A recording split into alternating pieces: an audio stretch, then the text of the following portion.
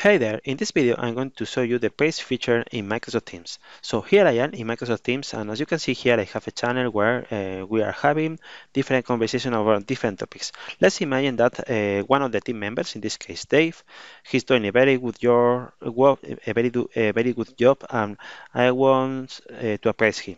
So what I can do here is just to use the praise feature in Microsoft Teams. So uh, starting in a regular conversation, I can click on the three dots and this is available not only for conversations happening in channel but also for private conversation in one-to-one -one chats or one-to-n chats and as you can see here I have the praise feature so I'm going to show gratitude uh, to Dave in this case so I can click on praise and then I'm going to have a pop-up dialog where I can choose uh, different badges. As you can see here, I have uh, nine different badges to uh, show my gratitude to Dave in this case. So in this case, I'm going to say that Dave is awesome. So I'm going to choose that badge and then I'm going to select Dave from the team as a team member. You can also uh, add a custom message here. Sorry.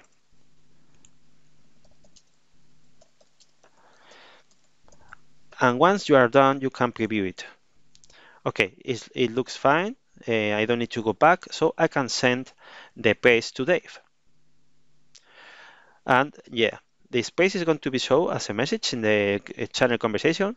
And if I go to uh, another session where uh, I have Dave as a user, I'm going to see I'm going to receive a notification uh, just uh, telling me that I have a, a, specific mention that in this case this uh, user got a praise. Um, yeah, of course Dave can go here to the message he can make a like, he can answer the praise, and so on. And that's all. I hope you, you have found this video interesting and talk to you soon. Bye bye.